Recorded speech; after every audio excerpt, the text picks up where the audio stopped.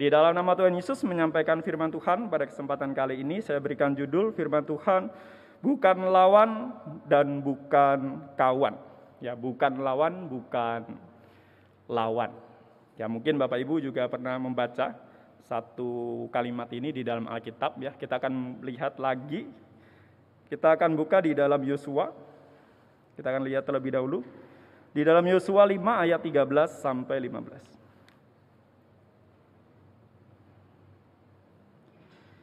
Yosua pasal 5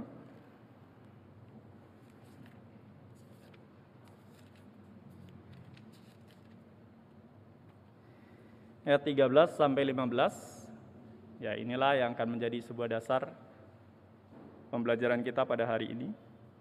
Yosua 5 ayat 13 sampai yang ke-15 saya bacakan. Ketika Yosua dekat Yeriko, ia melayangkan pandangnya, dilihatnya seorang laki-laki berdiri di depannya dengan pedang terhunus di tangannya. Yosua mendekatinya dan bertanya kepadanya, "Kawankah engkau atau lawan?" Jawabnya, "Bukan, tetapi akulah panglima bala tentara Tuhan. Sekarang aku datang." Lalu sujudlah Yosua dengan mukanya ke tanah, menyembah dan berkata kepadanya, "Apakah yang akan dikatakan tuanku kepada hambanya ini?" 15. Dan panglima bala tentara Tuhan itu berkata kepada Yosua, "Tanggalkanlah kasutmu dari kakimu, sebab tempat engkau berdiri itu kudus." Dan Yosua berbuat demikian. Ya, Nah, judul ini memang kita ambil dari satu perikop ini di dalam ayat yang ke-13. Ketika pada saat itu Yosua berdiri dan berada di dekat Yeriko, lalu kemudian dia melayangkan pandang ke Yeriko karena Yosua akan memasuki kota Yeriko. Dan apa yang terjadi ketika pada saat itu Yosua melayangkan pandangnya ternyata ada seorang laki-laki berdiri di depannya dan menghunuskan pedang di tangannya. Lalu Yosua bertanya, "Kawankah engkau atau lawan? Teman atau lawan? Musuh atau e, kawan ini?" Begitu. Lalu apa yang disampaikan si laki-laki yang berdiri dengan pedang terhunus itu dia menjawab bukan.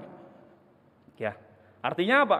Ketika ada pertanyaan kawankah engkau atau lawan, lalu jawabannya bukan, maka sesungguhnya dia bukan lawan dan juga bukan seorang kawan. Lalu siapa? Kalau kita melihat di ayat yang ke-14, dia menjawab, "Akulah panglima bala tentara Tuhan." Ya sesungguhnya ini tidak menjawab sebuah pertanyaan yang disampaikan oleh Yosua ya. Kalau kita mungkin e, berada dalam posisi seperti Yosua, berada dalam posisi Yosua lalu kemudian menanyakan kepada seseorang yang hadir yang ada di depan kita lalu dengan pedang terhunus, mungkin juga kita akan berpikir macam-macam. Ya. Maka wajar sehingga pada saat itu Yosua menanyakan, "Kawankah engkau atau lawan?" Tetapi apa yang menjadi jawaban dari sosok itu adalah bukan. Akulah panglima bala tentara Tuhan. Ya. Lalu siapa panglima bala tentara Tuhan ini? Kalau kita melihat dari beberapa catatan di dalam Alkitab, ini akan menjelaskan bagaimana kita memahami siapa panglima bala tentara Tuhan ini. Ketika tadi Yosua menanyakan, kawankah engkau atau lawan? Lalu apa yang disampaikan? Jawaban dari sosok itu adalah akulah panglima bala tentara Tuhan. Lalu siapa sesungguhnya panglima bala tentara Tuhan ini? Kita akan lihat di dalam Wahyu 19 ayat yang ke-20 terlebih dahulu. Wahyu 19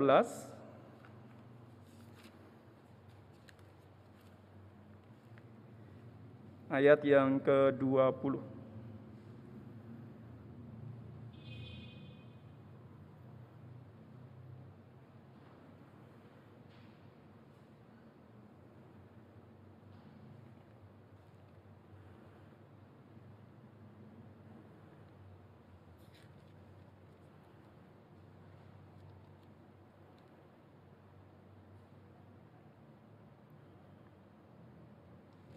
oh, maaf. Wahyu 22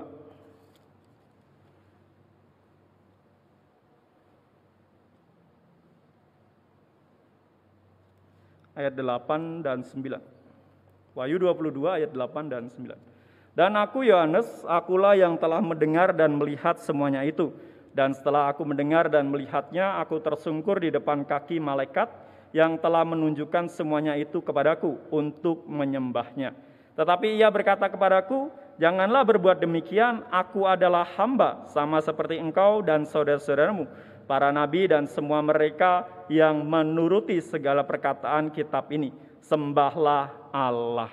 Nah, kalau kita melihat dari catatan Wahyu 22 ayat 8 dan 9, kita bisa melihat satu pemahaman bagaimana Yohanes pada saat itu ingin sujud menyembah kepada seorang malaikat tetapi apa yang disampaikan oleh malaikat itu, jangan sembah aku, karena aku hanyalah hamba, sembahlah Allah. Itulah satu prinsip yang seharusnya dipegang di dalam diri seorang malaikat. Malaikat tidak layak untuk disembah, tetapi siapa yang layak disembah adalah Tuhan. Maka kalau kita melihat dari satu hal yang disampaikan oleh malaikat kepada Yohanes itu sangat betul ya. Bagaimana dia memposisikan diri sebagai hamba yang tidak layak untuk disembah. Lalu kemudian kita kembali di dalam Yosua ayat ke-14. Yosua 5 ayat yang ke-14. Kita boleh tandai di Yosua 5. Nanti kita akan buka lagi, buka lagi di dalam sini. Yosua 5 ayat yang ke-14.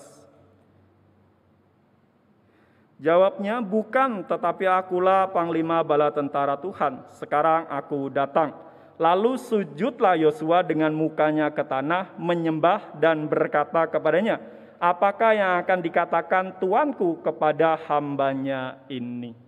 Nah kalau kita melihat di ayat yang ke-14 ini, tidak ada penolakan sama sekali di dalam diri seorang laki-laki yang hadir pada saat itu di depan Yosua.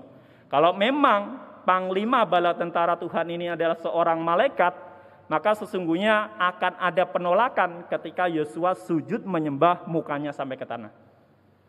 Tetapi kalau kita lihat di sini tidak ada. Artinya siapa dia sesungguhnya bukan seorang malaikat. Lalu kemudian kita lanjut lagi ayat yang ke-15. Apa yang dilakukan Yosua ketika menghadap kepada panglima bala tentara Tuhan ini? Dan panglima bala tentara Tuhan itu berkata kepada Yosua, tanggalkanlah kasutmu dari kakimu, sebab tempat engkau berdiri itu kudus. Dan Yosua berbuat demikian. Bapak, Ibu, dan saudara-saudari yang terkasih di dalam Tuhan, mungkin juga mengingat satu kisah yang dialami oleh Musa. Ketika Musa bertemu dengan Tuhan pertama kali, apa yang dilakukan oleh Musa? Musa juga diperintahkan untuk menanggalkan kasutnya karena tempat di mana Musa berdiri itu merupakan tempat yang kudus. Maka ini sama seperti yang dialami oleh Yosua. Yosua sesungguhnya bertemu dengan siapa? Siapa panglima bala tentara Tuhan itu? Ya sesungguhnya itu tidak lain dan tidak bukan adalah Tuhan itu sendiri. Jadi siapakah panglima bala tentara Tuhan itu? Sesungguhnya adalah Tuhan itu sendiri. Kita lihat satu ayat lagi. Lukas 2 untuk memberikan sebuah dukungan pemahaman kepada kita untuk menjelaskan sosok Panglima Bala Tentara Tuhan ini siapa. Lukas 2 ayat 11 sampai yang ke-15. Hari ini telah lahir bagimu juru selamat, yaitu Kristus Tuhan di kota Daud.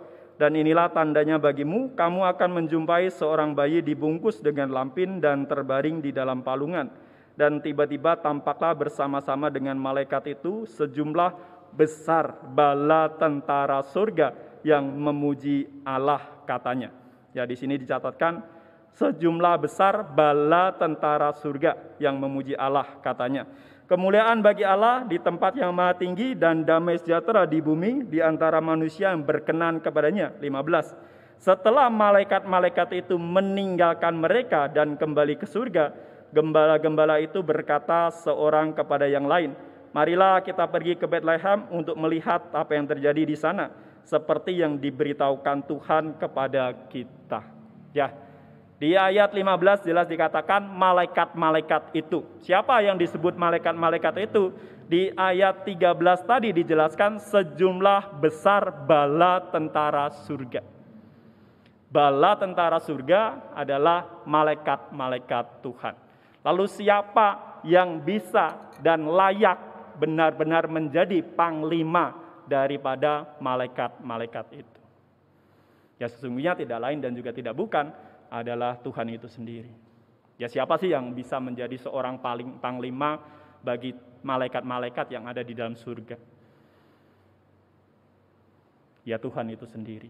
Maka kalau kita melihat di dalam Yosua pasal 5 ayat 13 sampai yang ke-15 tadi, eh, sesungguhnya siapa sih yang berdiri di depan Yosua, panglima bala tentara Tuhan itu? Ya sesungguhnya dia adalah Tuhan itu sendiri. Lalu kenapa yang menjadi pertanyaan bagi kita pada hari ini, jika panglima bala tentara Tuhan itu adalah Tuhan sendiri, lalu kenapa ketika Yosua menanyakan, "Kawankah engkau atau lawan?" Tetapi Tuhan menjawab, "Bukan." Bukankah sesungguhnya kalau itu Tuhan sendiri, dia harus menjawab, "Ya, saya kawan." Karena Yosua adalah bangsa Israel, bangsa pilihan. Tetapi kenapa ketika Yosua menanyakan, kawankah engkau atau lawan? Tetapi Tuhan menjawab, bukan. Maka suatu hal yang cukup menjadi sebuah pertanyaan bagi kita pada hari ini. Kenapa demikian? Begitu ya. Kalau memang Tuhan seharusnya kan kalau kita mungkin pada hari ini kita orang-orang percaya di dalam Tuhan, ya kita berharap Tuhan juga mengakui kita sebagai kawannya begitu. Atau sahabatnya begitu atau orang yang ada dekatnya begitu. Tetapi kenapa di titik ini dalam peristiwa ini Yosua menanyakan itu kawankah engkau atau lawan tetapi Tuhan menjawab bukan. Kenapa bisa demikian? Ya inilah yang akan kita pelajari bersama-sama pada hari ini. Kenapa Tuhan menjawab demikian? Kenapa Tuhan menyampaikan bukan kawan dan juga bukan lawan? Karena sesungguhnya Tuhan bisa menjadi kawan dan juga bisa menjadi lawan. Bagi siapa? Bagi Yosua, bangsa Israel, dan kita semua pada hari ini. Sesungguhnya pertanyaan, kawankah engkau atau lawan, itu tidak kita tujukan kepada Tuhan, tetapi itu menjadi sebuah pertanyaan Tuhan kepada kita pada hari ini. Kita lawan atau kawan daripada Tuhan. Itulah yang seharusnya menjadi sebuah pertanyaan. Bukan Yosua menanyakan kepada Tuhan, tetapi Tuhan yang seharusnya menanyakan kepada Yosua, kepada bangsa Israel secara keseluruhan. Kawankah engkau atau lawan? Demikian juga dengan kita pada hari ini. Siapakah kita? Kita kawan atau lawan daripada Tuhan itu sendiri. Ada tiga hal yang akan kita pelajari pada hari ini. Uh, mungkin juga hari ini kita akan bahas hanya satu. Kita lanjut besok sore dua halnya. Ya kita akan bahas yang pertama, dari mana kita bisa mengukur siapa kita? Apakah kita kawan atau lawan daripada Tuhan? Kita akan lihat di dalam Yeremia 23 ayat 30 sampai 36. Yeremia pasal 23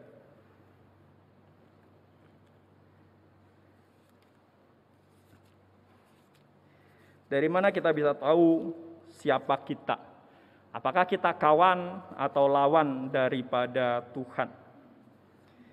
Yeremia 23 ayat 30 sampai 36 akan saya bacakan.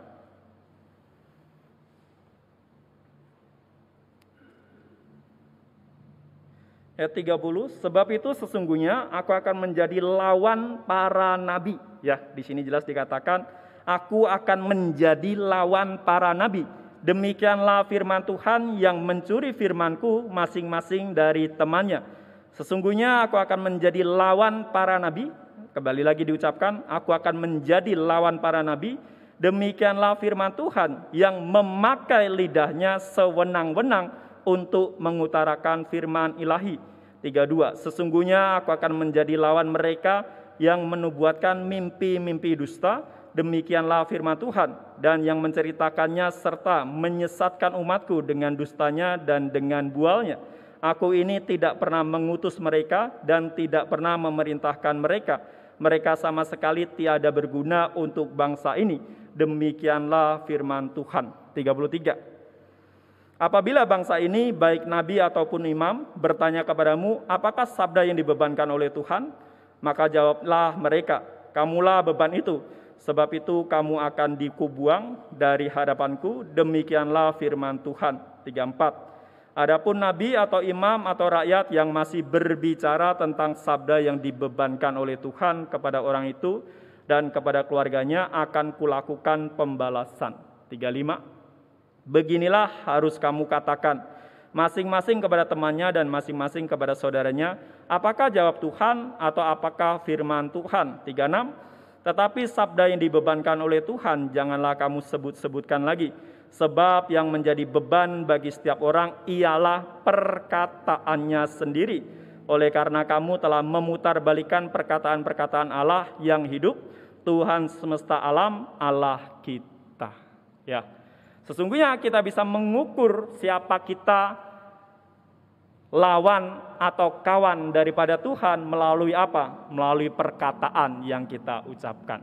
Demikian juga yang terjadi pada saat itu di zaman Yeremia. Di zaman Yeremia, nabi, imam, dan juga keseluruhan bangsa Israel mayoritas memperkatakan perkataan yang dusta, memperkataan perkataan yang tidak sesuai dengan firman Tuhan, memperkatakan perkataan-perkataan yang dengan sembarangan dikatakan. Dari situlah Tuhan menjadi lawan dari para orang-orang pada saat itu.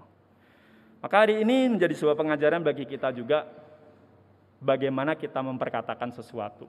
Bagaimana kita menggunakan mulut kita pada hari ini Apakah kita menjadi kawan Tuhan atau lawan Tuhan di dalam perkataan kita? Ini hal yang pertama yang boleh kita sama-sama renungkan. Bagaimana sesungguhnya kita bisa mengukur siapa kita? Apakah kita kawan atau lawan daripada Tuhan melalui apa? Melalui perkataan yang kita ucapkan, melalui penggunaan mulut kita memperkatakan segala sesuatunya. Apakah kita benar-benar menjadi lawan Tuhan atau menjadi kawan daripada Tuhan? Nah, kalau kita melihat di dalam Yeskiel 13 ayat 8, kita boleh buka. Di situ juga terjadi demikian, sama. Yeskiel dan Yeremia adalah nabi yang bertugas secara berdekatan waktunya ya. Yeskiel 13 ayat yang ke-8.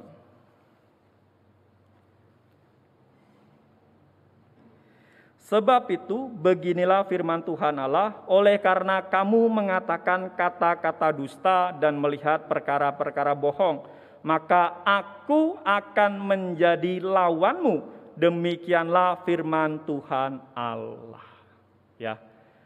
Dari ayat ini jelas siapa kita ketika kita pada hari ini menggunakan mulut kita untuk berdusta menggunakan mulut kita untuk berbohong, menggunakan mulut kita dengan sembarangan memperkatakan perkataan yang tidak baik. Apakah kita lawan atau kawan daripada Tuhan? Ya Bapak Ibu dan saudara-saudari yang terkasih dalam Tuhan, ini menjadi sebuah perenungan bagi kita bersama. Memang kita pada hari ini bukan imam, memang pada hari ini kita bukan nabi, sama seperti yang ada di dalam Yeskiel atau Yeremia. Mereka mempunyai tugas dan juga tanggung jawab untuk memperkatakan firman Tuhan, memperkatakan pesan-pesan daripada firman Tuhan. Tetapi bagaimana dengan kita pada hari ini? Sesungguhnya kita adalah imamat yang rajani. Artinya sama saja. Memang pada saat itu di dalam perjanjian lama imam nabi secara harafiah, secara jasmani, secara lahiriah, secara status. Tetapi kita pada hari ini secara rohani kita adalah imamat yang rajani. Artinya kita semua adalah imam yang seharusnya mempunyai tugas dan tanggung jawab dan juga peran untuk memperkatakan perkataan yang baik dan memperkatakan pesan-pesan daripada firman Tuhan. Maka siapakah kita pada hari ini? Lawan Tuhan atau kawan Tuhan di dalam perkataan kita, di dalam mulut kita? Apa yang setiap hari keluar dari mulut kita? Apakah kita benar-benar kawannya Tuhan atau lawan daripada Tuhan? Kata-kata apa yang keluar dari mulut kita? Apakah kata-kata kotor, kata-kata hujatan, kata-kata kutuk, atau kata-kata bohong, kata-kata dusta yang setiap hari keluar di dalam mulut kita? Kalau memang itu terjadi di dalam kehidupan kita pada hari ini, ya sesungguhnya kita bisa mengukur diri kita. Siapa kita? lawannya Tuhan atau kawannya Tuhan. Kalau memang kita kawannya Tuhan, ya mari kita gunakan mulut kita dengan baik, menggunakan kata-kata yang keluar dari mulut kita merupakan sebuah kata-kata yang sesuai dengan firman Tuhan. Ya, kita akan buka di dalam Efesus 4 ayat 29. Efesus 4 ayat 29.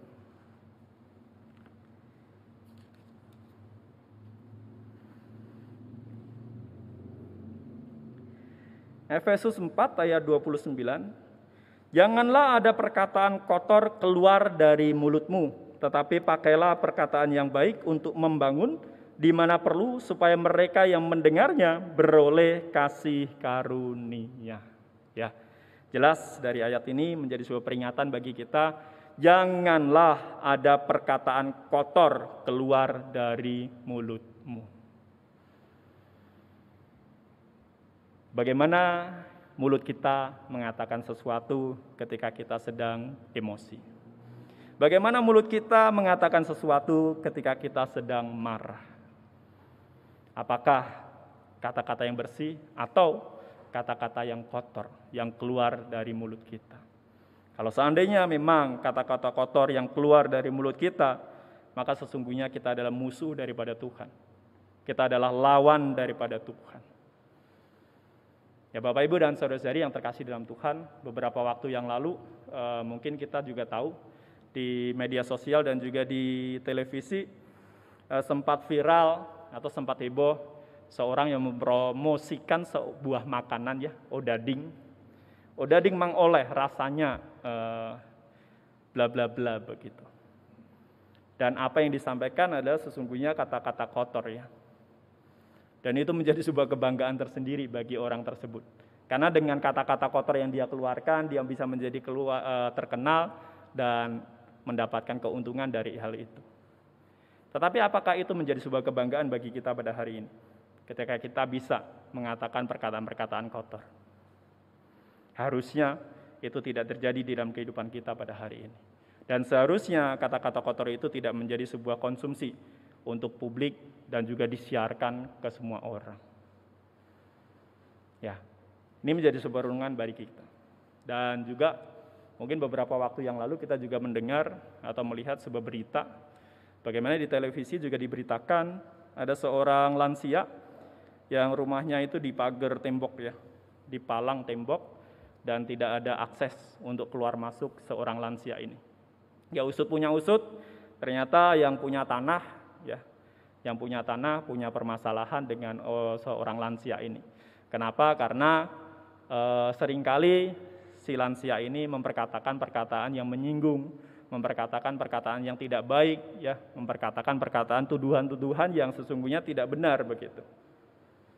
Ya kata-kata yang disampaikan lansia ini sebuah kata-kata yang tidak enak didengar sehingga menyinggung perasaan dari si orang yang punya tanah yang punya akses ya.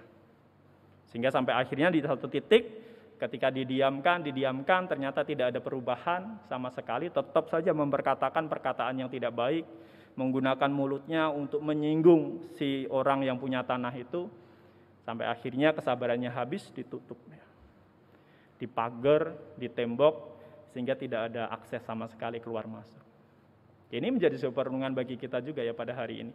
Menjadi sebuah contoh bagaimana sesungguhnya sebuah perkataan itu menjadi sebuah hal yang sangat penting bagi kita. Bagaimana kita menggunakan mulut kita, kita bisa mengukur siapa kita. Apakah kita kawan daripada Tuhan atau lawan daripada Tuhan? Ya mari kita gunakan mulut kita untuk memperkatakan perkataan yang benar, memperkatakan perkataan-perkataan yang baik. Jangan sampai perkataan-perkataan kotor, perkataan-perkataan yang menyinggung, perkataan-perkataan yang tidak ada isinya, itu menjadi sebuah kata-kata yang setiap hari keluar di dalam mulut kita. Ya, mungkin di dalam kita masyarakat orang-orang Sunda juga ada ya kata-kata kotor, kata-kata hujatan yang mungkin sering kali kita dengar di luar sana. Lalu bagaimana dengan kita orang-orang Kristen? Ya seharusnya itu tidak menjadi sebuah perbendaharaan di dalam kata-kata kita Ya mari kita gunakan kata-kata yang baik. Ketika kita emosi, ketika kita marah, mari tetap jaga hati kita, jaga pikiran kita, jaga mulut kita. Jangan sampai ketika kita emosi, ketika kita meluapkan amarah kita, kata-kata yang muncul itu merupakan sebuah kata-kata yang menjadi lawan daripada Tuhan. Itu hal yang pertama yang boleh kita sama-sama renungkan dari perkataan ya. Dari perkataan sesungguhnya kita bisa mengukur siapa kita. Kawan atau lawan daripada Tuhan. Lalu apalagi yang menjadi sebuah pengajaran bagi kita? Kita akan lihat kembali di dalam Yeremia 9 ayat 5 dan 8. Yeremia pasal yang ke-9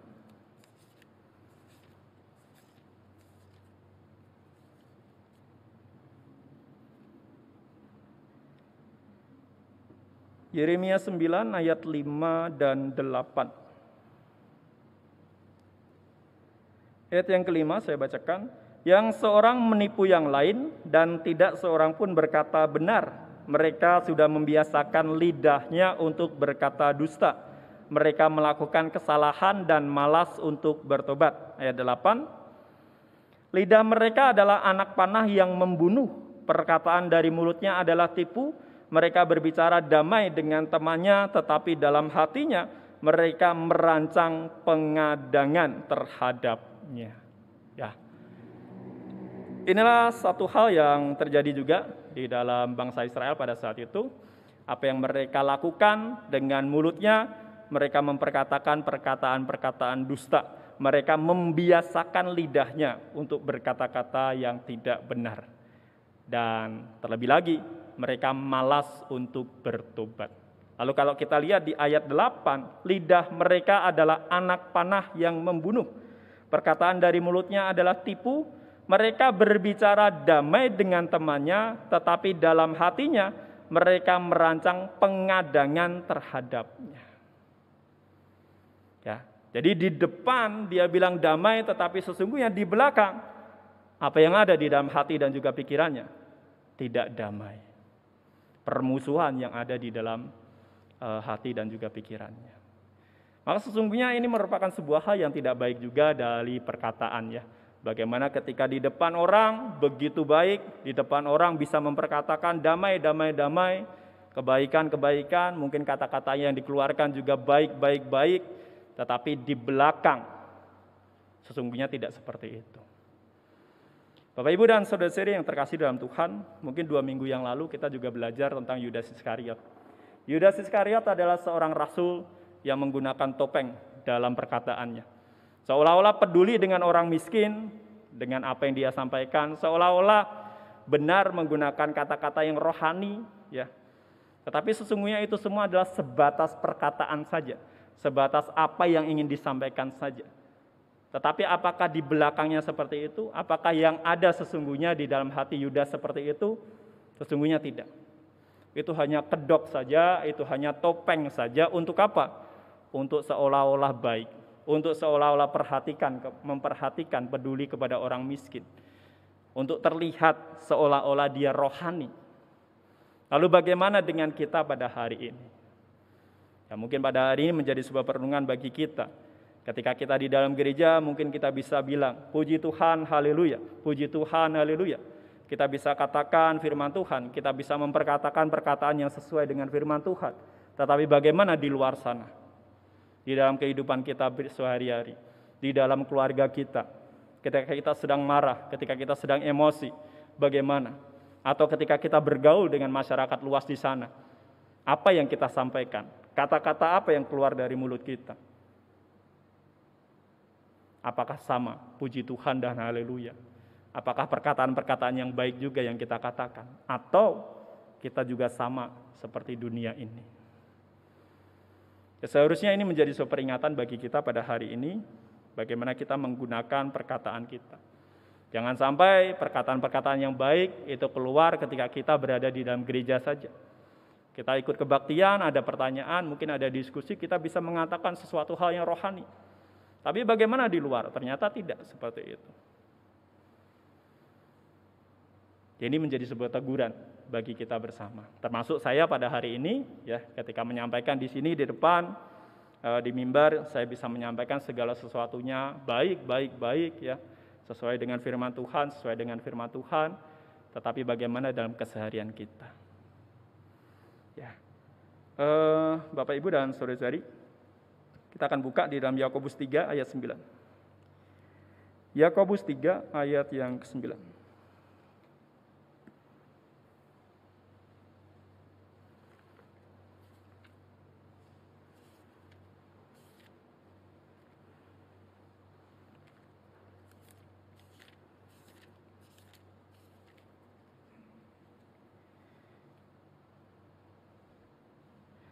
Yakobus 3 ayat yang ke-9.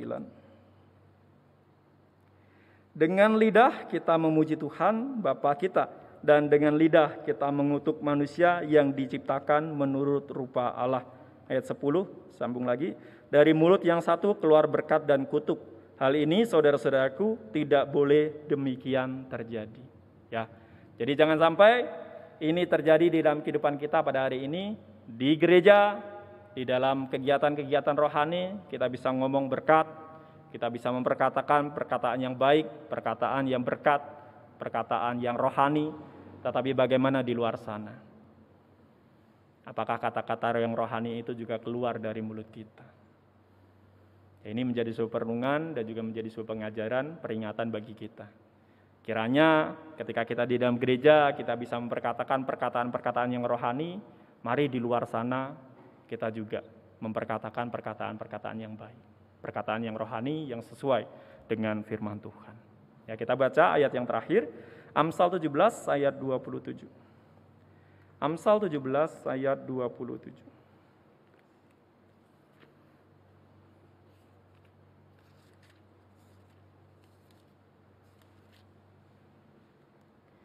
Amsal 17 ayat 27 Orang yang berpengetahuan menahan perkataannya, orang yang berpengertian berkepala dingin.